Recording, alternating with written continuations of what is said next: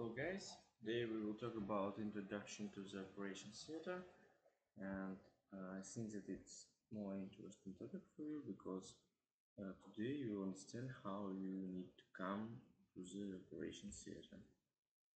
Uh, the operation theater is a complex clinical environment where the care of the surgical patient is facilitated by the coordination and coexistence of many crucial factors. Depending on the healthcare facility that the operation theater is in the operation theater deals with broad spectrum of procedures, from the very simple to extraordinary complex, multi-team, high-technology operations in both planned and emergency situations in order to facilitate this. There is effectively an inner sanctum or immediate duty operation team that includes the patient, surgeon, surgical assistants, anesthetists, nursing staff, and theater technique. Uh, complex network outside the operation theater. Supporting the direct operation team, there is a complex network outside the operation theater but essential to the conduct and successful completion of safe surgery. This network includes the Central Sterile and Supply Department, um, CSSD. The ward staff preparing the patient for surgery and caring for the patient postoperatively the suppliers of essential equipment, imaging resources, and pathology backup, as well as hospital administrators. Patient uh, uh, from the patient perspective, um, there is a feeling of approach avoidance ambivalence. The approach element is the patients need to have their clinical problem rectified whilst the avoidance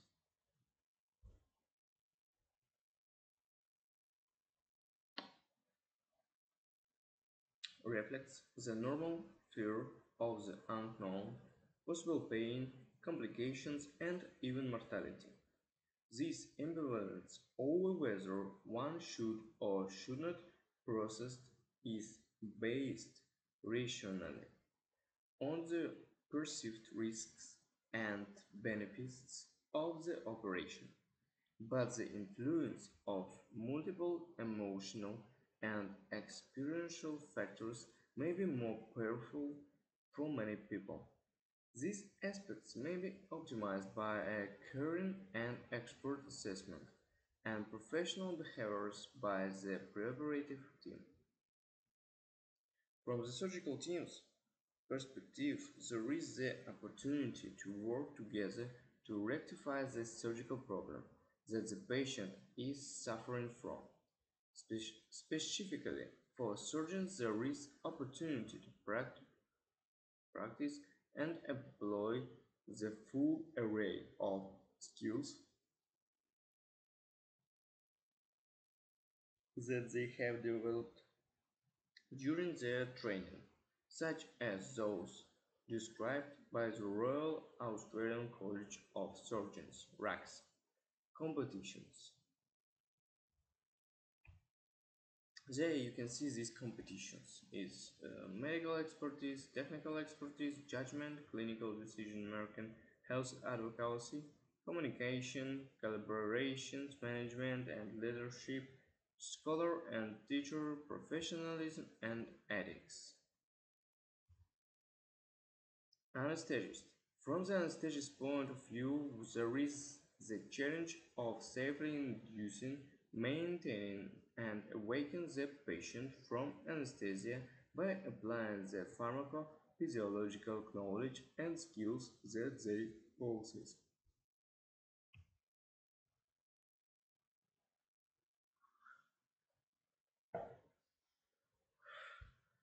Nursing staff are involved in both the anesthetic and surgical teams.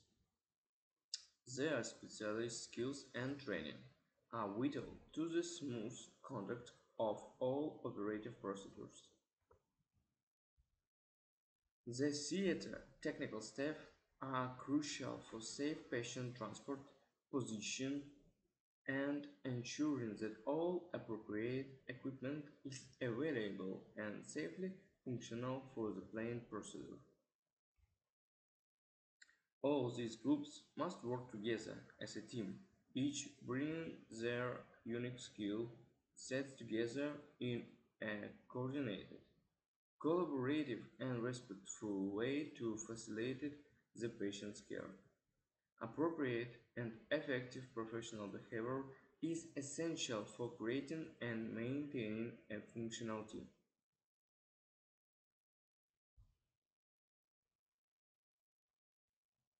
Respect for each member of the theater teams is invaluable and the common courtesy of saying please and thank you is a powerful factor in enhancing respect and developing trust in each other. Despite this, emotions may run high under the pressure of surgery. This may lead to behaviors which may in turn be counterproductive rather than improving a tense situation. Appropriate training may help practitioners to adapt the changes more effectively. The operation theater is an excellent venue for technique and training in all professional disciplines. It's important that students and junior staff have access to, the, to this environment to develop their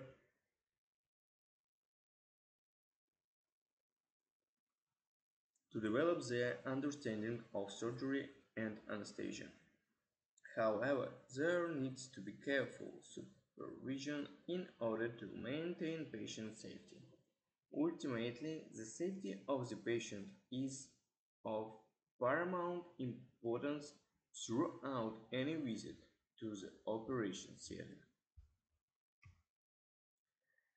Uh, in this lection, we consider an overview of each component that contributes to the patient's journey in the operation theater under the broad headings of the operation theater and the direct patient care team, followed by the important role of the indirect support staff and systems to support care in the operation theater. Uh, operation theater or inner sanctum. Inner sanctum yeah? the fundamental goal of the modern operation theater is the establishment of a safe and appropriate environment for effective and safe surgery.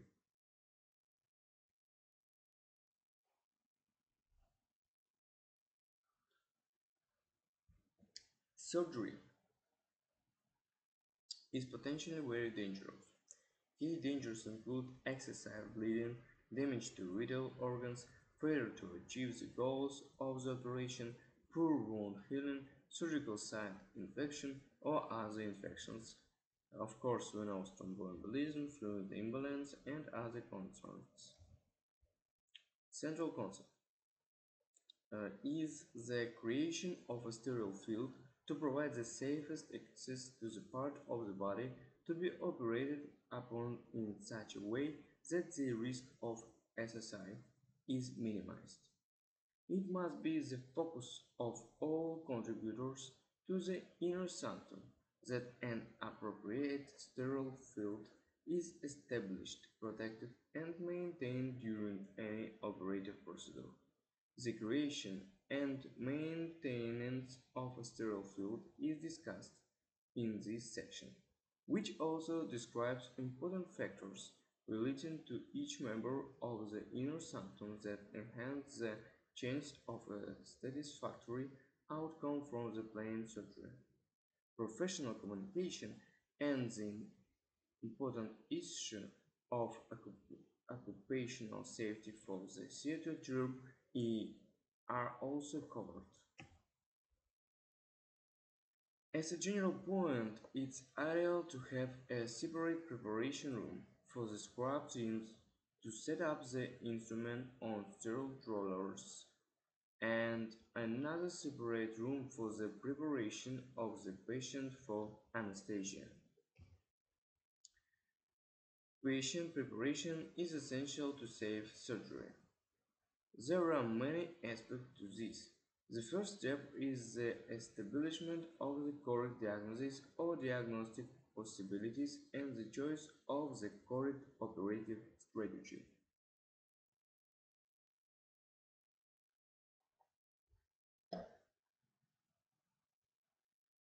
During the process, a therapeutic relationship must be established between the surgeon and all the surgical team, and the patient and the relative. Special tests or preparations may be required to clarify the diagnosis and to further assess the condition. Mm, Once the surgical plan has been established, it is necessary that the patient understands the diagnosis and its implications, the risks and benefits of the planned procedure, and alternative treatment, including non-operative options. It's important that this information is conveyed in their usual language, with appropriate support available.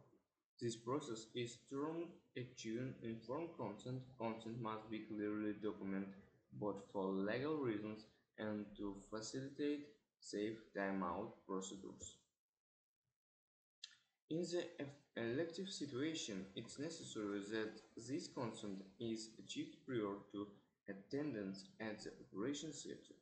In truly urgent situations, consent may be waived if it's genuinely in the patient's best interests. However, it's always best that the patient and relatives understand that as much as possible.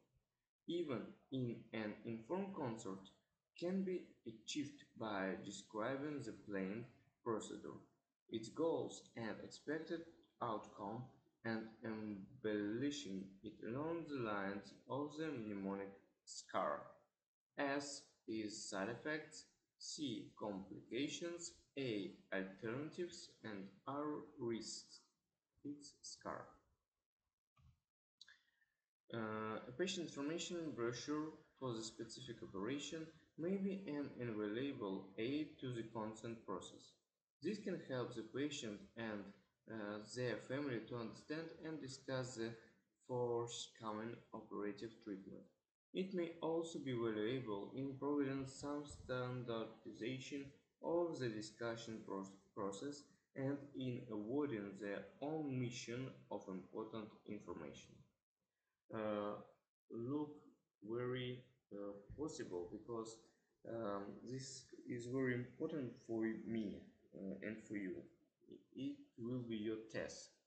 You need to create some brochure for patients with uh, some specific information what I will give you. Uh, this um, how you can do uh, your brochure. Yeah, and there you see any steps and I want from you something like this, but another uh, type and maybe some more interesting how you will see. Uh, planned elective procedures. For planned elective procedures, the patient's comorbidities should be identified and corrected as much as possible so that the patient's general condition is optimized prior to surgery. A simple example of this is cessation of smoking. Cessation of smoking, ideally for a minimum of four weeks prior to the operation, which has been shown to significantly reduce postoperative complications and may lead to the patient stopping smoking to altogether. Another critical issue uh, is management of antithrombotic and antiplatelet agents perioperatively. A target history is required to identify these and other health risks that may have an impact on the planned surgery and its conduct. Careful synthesis of the operative candidate's health and readiness for surgery can be amplified by appropriate investigations, especially in the older patient, more than 17 years, for example, such as urinalysis, full blood examination, ECG, electrolytes, chest X-ray, and so on. Subsequently, preparative assessment may involve other specialists such as cardiologists, diabetic specialists, nephrologists, and our allied health colleagues.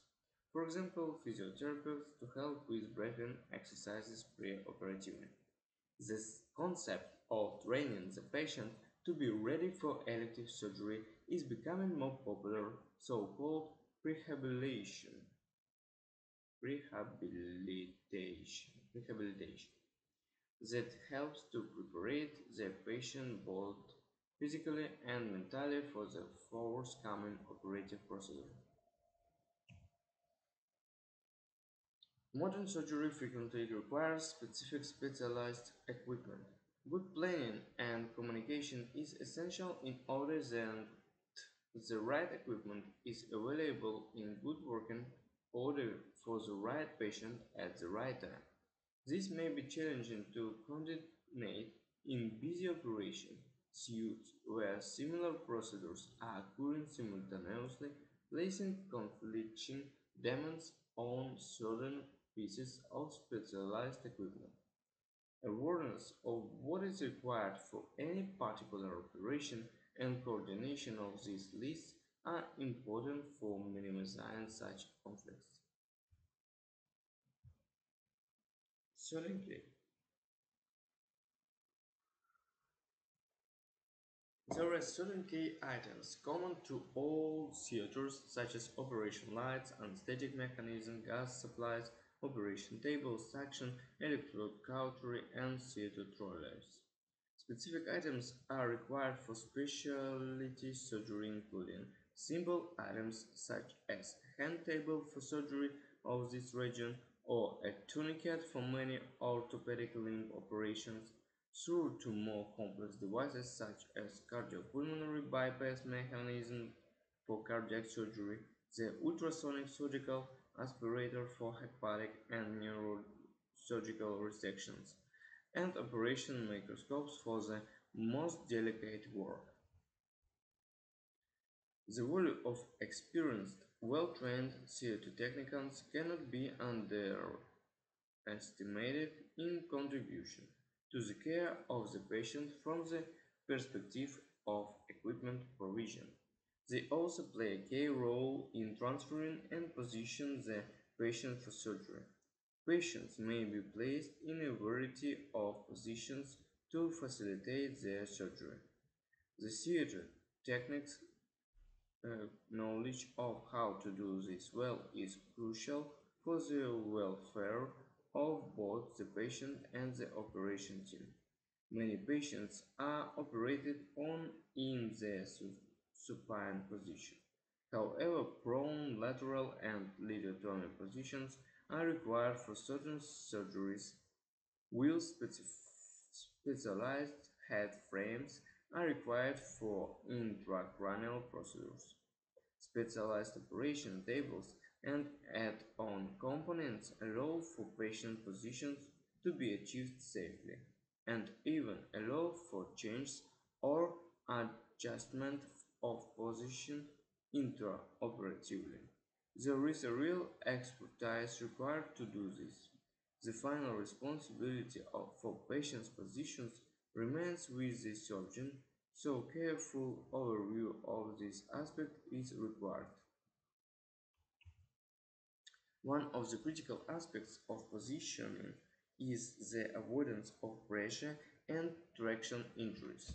Certain pressure points need particular attention, such as the helps, the heels, uh, not helps, uh, the heels in the supine position or the condyles of the ankle in the lateral position. Uh, the ulnar nerve posterior to the medial epicondyle of the elbow is particularly vulnerable to pressure, which may result in a disabling tardy ulnar pulsing. Likewise, pressure on the head of the fibula may damage the lateral peroneal nerve. In an increasing challenge in the domain is the management of morbidly obese patients who require surgery. Special equipment such as however such as a hover mats may be required to move these patients safely without risk to the theatre personnel, as well as especially designed bariatric operation tables to safely cope with the loads involved. Modern, modern anesthesia is a beautiful blend of knowledge of human physiology and complex pharmacology and its interaction with the complex spectrum of pathology and the challenges created by the surgical procedure. Underlying these are essential principles of teamwork within the operation theater where the anesthetist is vital. Once again, excellent communication is fundamental in achieving exemplary teamwork during the patient's journey through them. This commences with a thorough assessment of the patient's suitability for operations and the associated risks. This may summarize in the Universal American Society of Anesthesiology ASA scoring system. Flowing on from this is the concept of the patient's potential frailty as judged by their physiological status and whether the planned procedure may indeed be feasible. The anesthetist can make significant contributions to the detailed discussion with the patient, the family, the surgical team, and other interested parties about proceeding with surgery and how this may be done as safely as possible.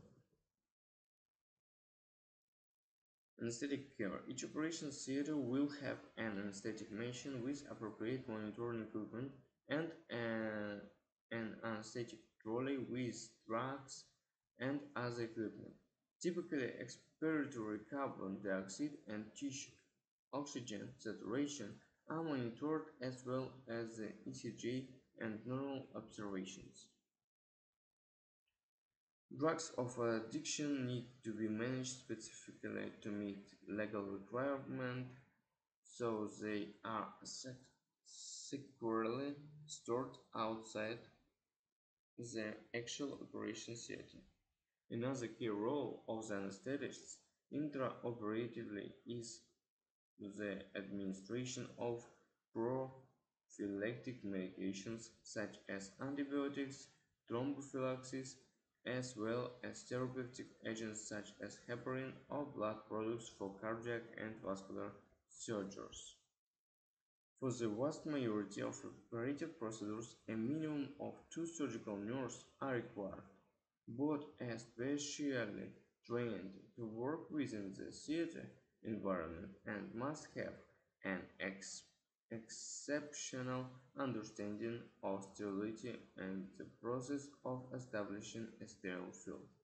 The surgical or scrub nurse scrubs, gowns, and gloves according to the established standards and is in charge of the instruments and disposable items that will be used for the planned operation.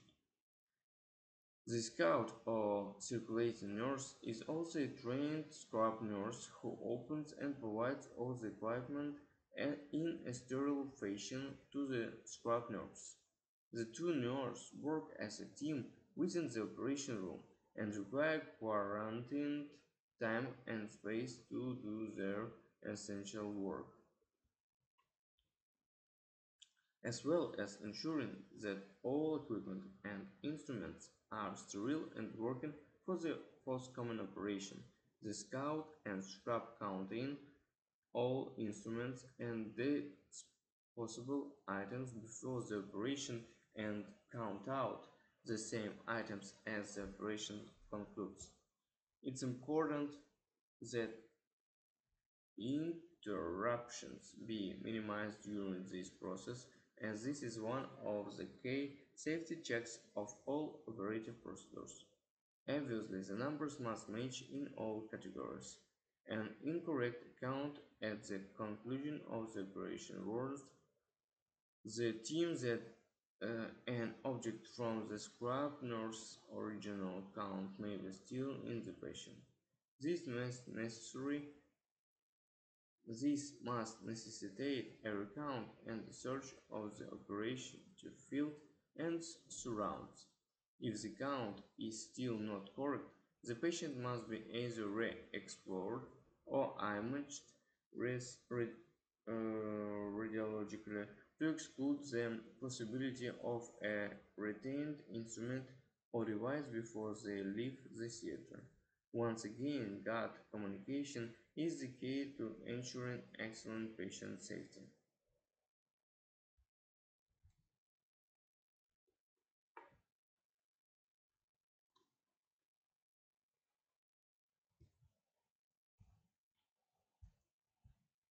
One of the benefits of this approach is the smooth and efficient exchange of instruments and equipment between the surgical team and the scrub nurse.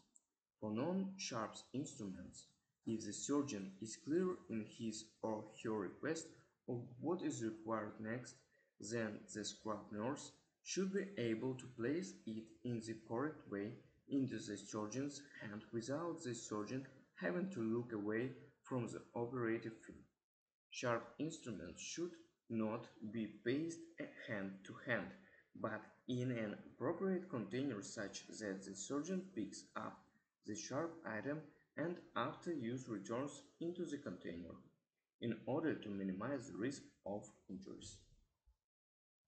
The surgeon is responsible for the decisions to operate and the pre-operative, operative and post-operative management of the patient. This requires many skills summarized by the nine RACS competencies.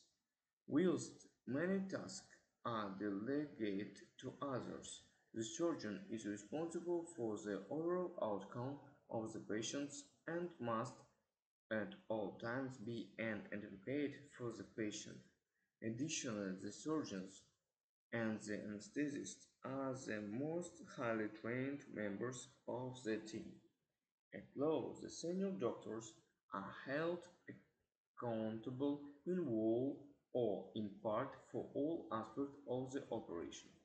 Therefore, the surgeon must act as leader of the cohesive operative team in partnership with the anesthetist. The surgeon, whether in training and being supervised by a more senior colleague or a specialist, fully trained surgeon must be able to take charge of the operation team for the commencement and safe conduct of the operation. There are many ways and idiosyncrasies about how this may occur, which will reflect cultural and societal norms, as well as individual differences in style. In 21st century Australia, a collegiate and relative democratic style is generally optimal in engaging, engaging all staff in the team. An important step in team engagement and a critical element in patient safety is preparative team timeout. TTO. This is how internationally recognized and under the banner of the World Health Organization checklist.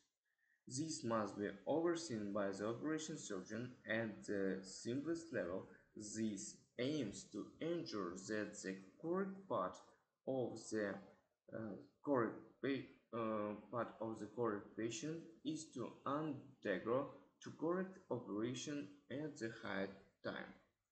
However, the process extends beyond this to encompass review of critical elements of patient assessment and the theater equipment.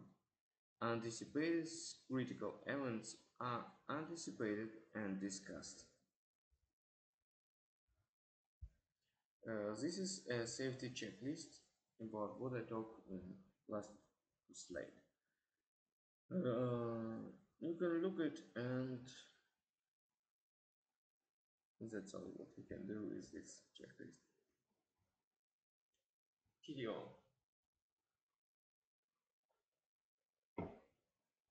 All team members in the inner sanctum of the operation team must participate in the TDO. If any member has concerns, they must feel empowered to voice those concerns with the rest of the team before proceeding to start the operation.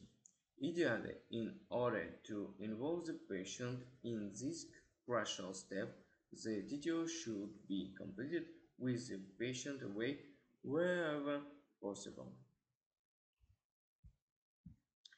Surgical assisting can be one of the most challenging and yet one of the most rewarding activities for medical students, surgical aspirants and trainers. It is also part of the role for senior surgeons mentoring trainees during their training.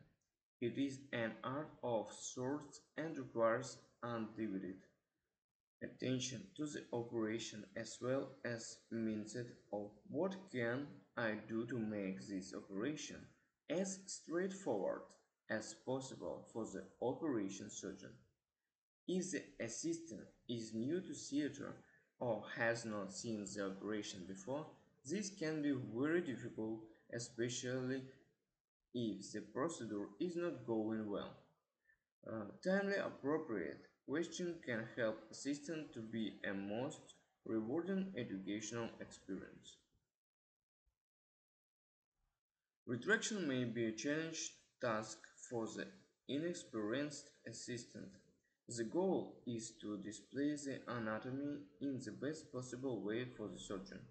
It's best to maintain the retractor position to the best of one's ability until it is adjusted by the surgeon.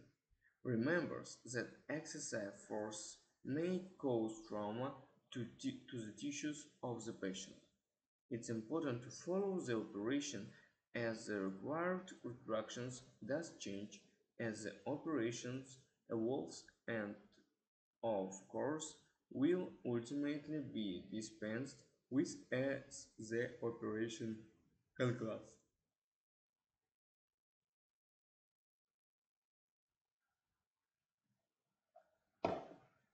Other assisting activities such as cutting sutures and deploying electrical electrocautery and suction should be done at the direction of the operation surgeon. In general, dissection scissors are not used to cut sutures. It's important to develop the habit of cutting with the tips of the scissors to reduce the risk of cutting a vital structure deep to the suture. Electrocautery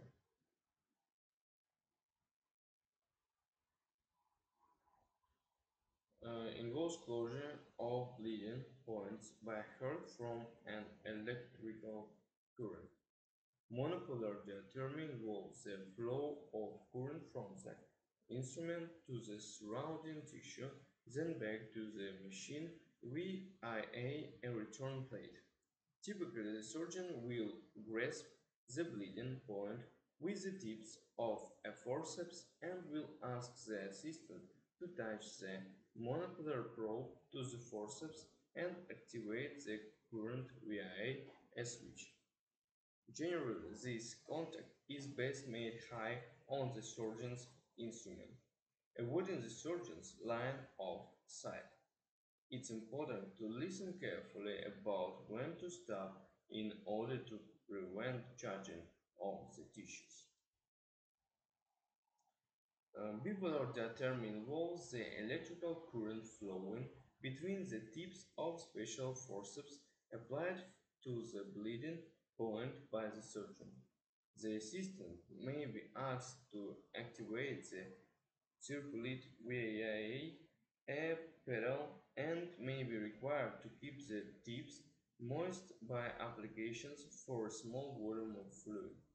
The goal is to apply enough fluid to allow boiling at the tips of the forceps, avoiding churning of flooding by under or over application.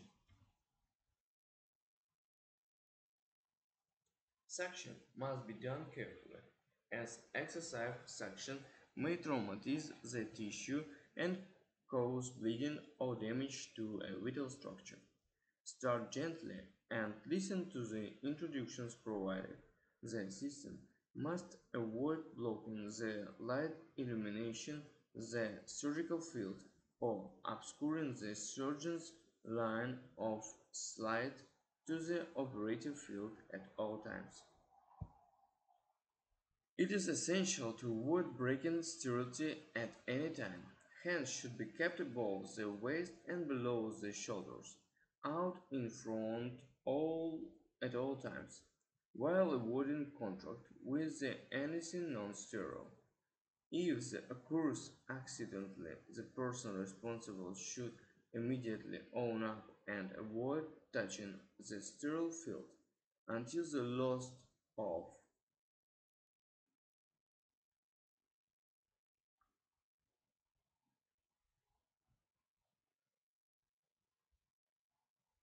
loss of sterility can be rectified.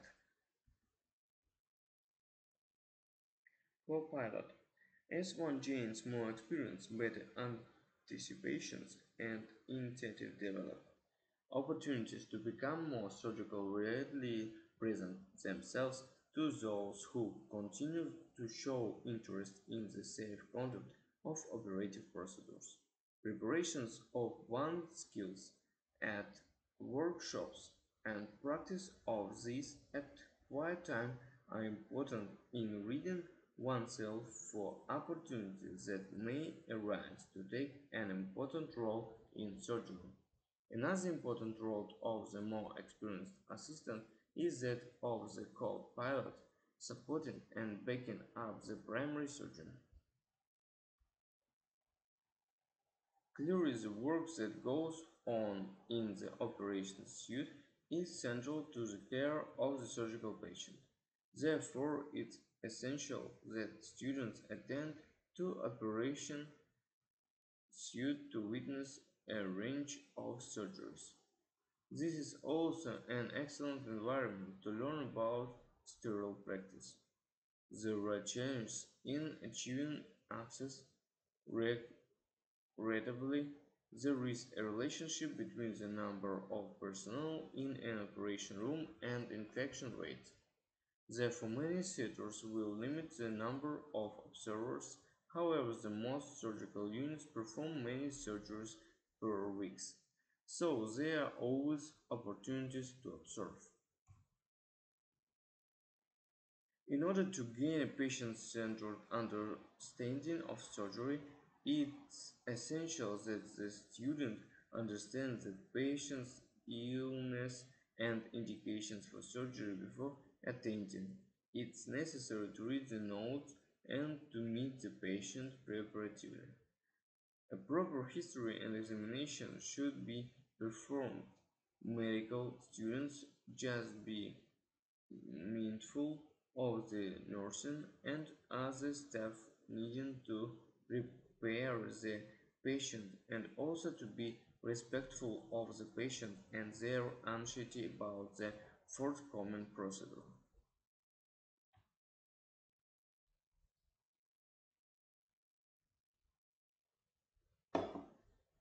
In the operation theater, it's necessary to introduce oneself to the surgical team and request permission to observe the procedure. A balance needs to be found between being involved as closely as possible, whilst not interfering with the safe and efficient conduct of the procedure. Respect for all the sterility and safety of the procedure is paramount at all times. It is wise be prepared to present the patient's clinical details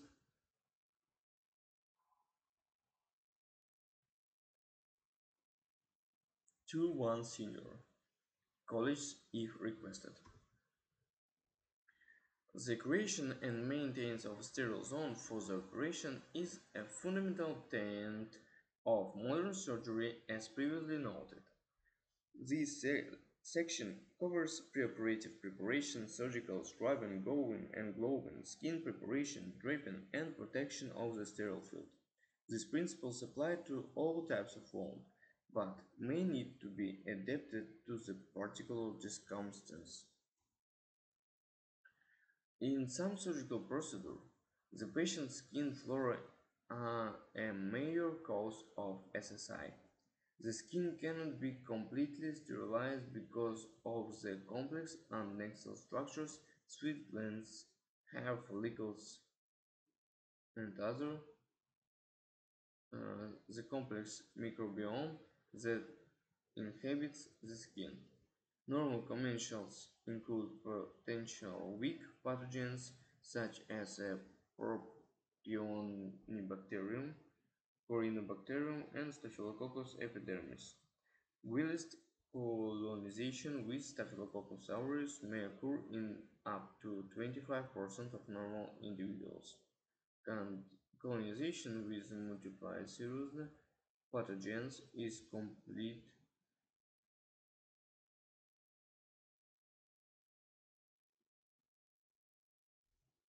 is common in hospitalized patients, especially when they are sick, receiving antibiotics or have discussed of ulceration of the skin. Therefore, it's necessary to achieve the maximum possible reduction in the burden of pathogenic skin flora in the immediate preoperative period. The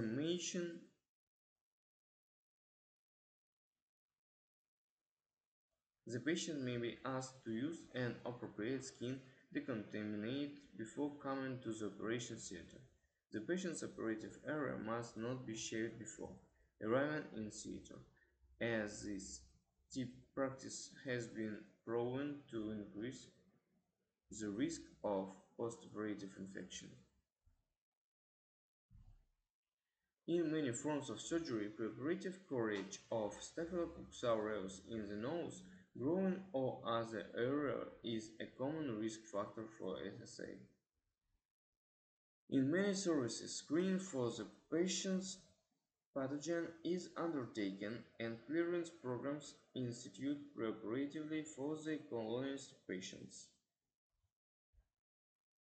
In surgery of large bowel, a major cause of postoperative SSI is related to contamination from the bowel flora. Preparation of the bowel with strong osmotic aperients may reduce infection rates. Sometimes for uh, sometimes for certain common procedures, uh, a so-called bundle of care is indicated as a protocol-driven way of minimizing SSI by commencing preparative risk reduction strategies and continued appropriate strategies through the operation and into the postoperative period. Once intravenous access has been achieved by the anesthetist, appropriate antibiotic prophylaxis is administered up, uh, as per guidelines. It has been demonstrated that it's optional that this be given at least 30 minutes before skin incision so that uh, adequate antibiotic levels are achieved at the mountain.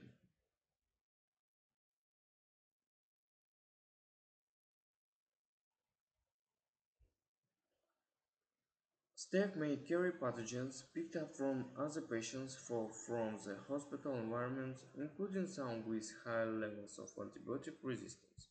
It is important that appropriate cleaning the theater attire be donned by all staff before entering the operation suite, and uh, that these be changed when they return to the theater from other environments.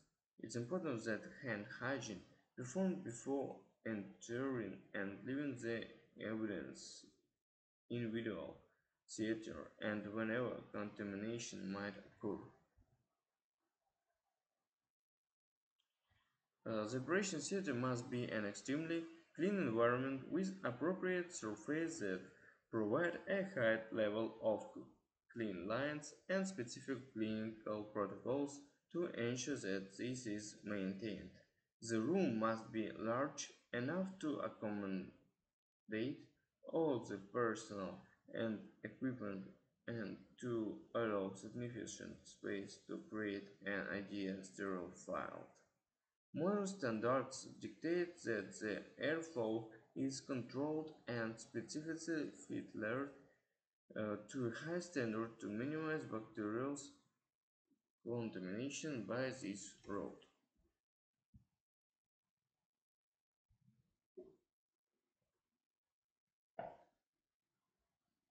In theater, the surgeon has a choice between four common skin preparation solutions, as well as some less common alternatives. The principal options are aqueous preparations of chlorhexidine or iodine, uh, or solution of each of these agents in alcohol. All these options achieve substantial reduction in bacterial counts on the treated skin surface. Studies demonstrate a greater effect on pathogenic species than the normal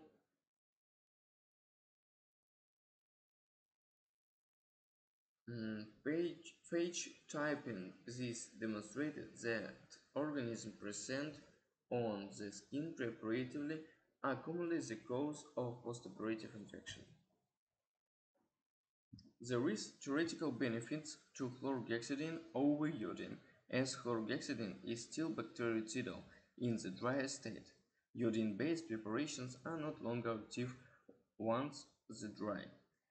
Iodine is also inactivated by blood, by blood uh, whereas chlorhexidine is not. There are time constants involved in the bactericidal effects of these preparations, typically at least 5 minutes of contact with the waste solution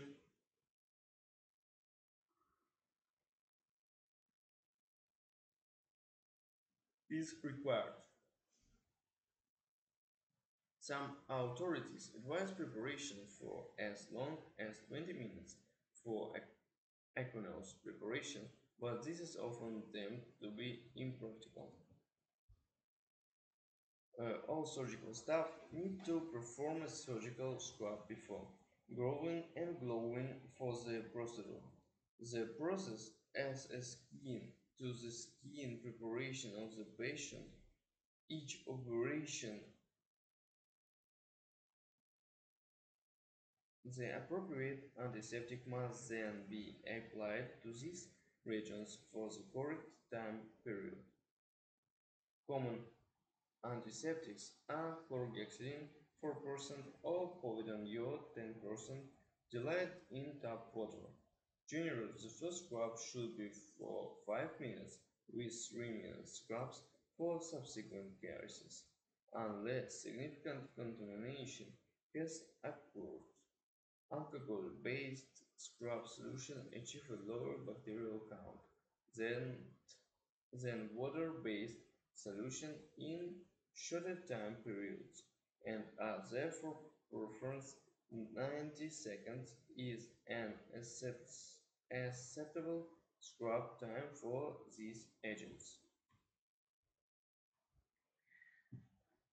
Meticulous technique and practice are required to effectively utilize the gloves technique. Double glowing is widely recommended to reduce the risk of bacterial contamination from the hands of the staff through microbes or tears in the gloves. The practice also reduces the risk and severity of needle stick injuries to staff members. After adequate skin preparation of a wider zone than the anticipated operative field, surgical drapes are applied to define the operative component of the sterile field and to cover the surrounding area. Sometimes these are extensive enough to exclude the non-sterile part of the operation theater. The drapes are performing a true barrier function so they need to be resistant to fluid, strike through, and be robust enough to not tear usually but also flexible enough to confirm the idiosyncrasies of the human body.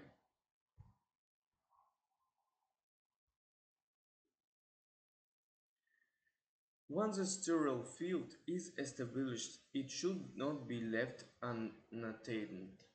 Scrub staff should stay close to the sterile field and movements by non-scrubbed staff kept to a minimum whilst surgery is in progress.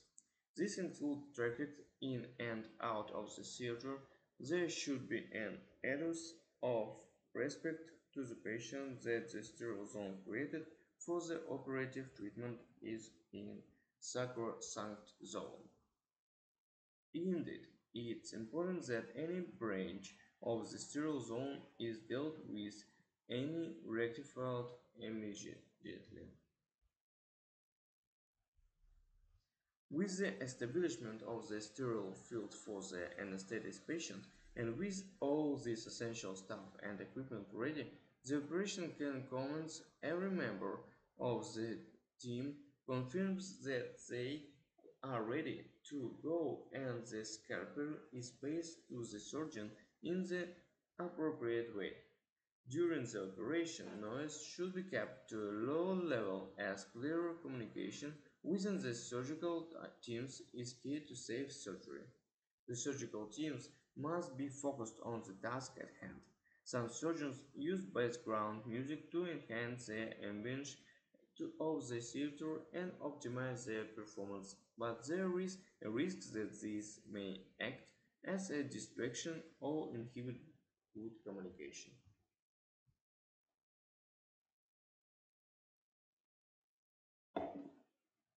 It is essential that everyone in an operation theater is aware of the potential occupational hazards and aspires to minimize their impact. The most concerning hazard is the potential for exposure to bodily fluids, especially blood with the resultant risk of blood-borne infection. The potential risk include contracting or various forms of viral hepatitis or HIV or AIDS. The prevention to penetration injuries by, by careful attention to safe handling practices or sharp instruments is fundamental to reducing this risk of transmission. Personal protective equipment such as appropriate uh, eyewear, gowns, gloves, and masks are of considerable benefit.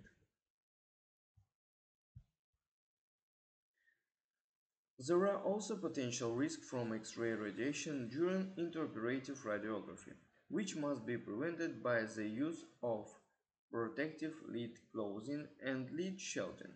Lasers may cause eye damage, so specific precautions are required when this technology is employed.